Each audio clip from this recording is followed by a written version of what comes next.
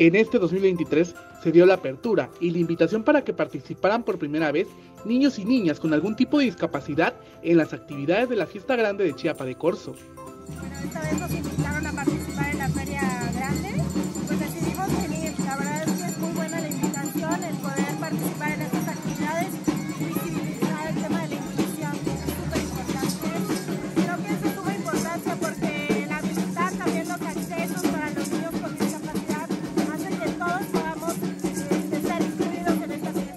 Los que mejor se la pasaron en este recorrido fueron las niñas y niños como Valentina, que en este año bailó por primera vez de chiapaneca.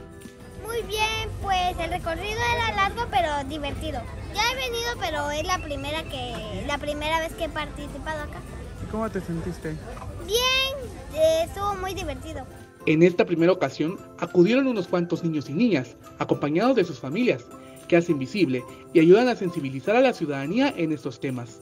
Este, acudieron eh, siete niños con sus familias, estuvimos pues pasándolas muy bien. La verdad es que son actividades muy importantes para incentivar la sensibilización y el tema de la inclusión de la discapacidad en nuestra sociedad. Eh, se les hizo la convocatoria y los niños que decidieron venir pues asistieron.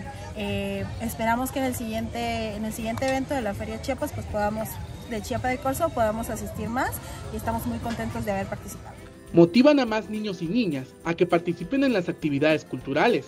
Valentina comparte un mensaje especial para las y los seguidores de Alerta Chiapas.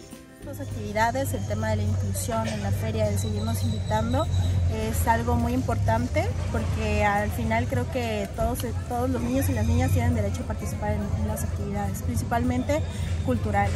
Y que vengan este día pues, al recorrido y que traigan a sus niños porque es muy divertido. Para Alerta Chiapas, Eric Chandomí.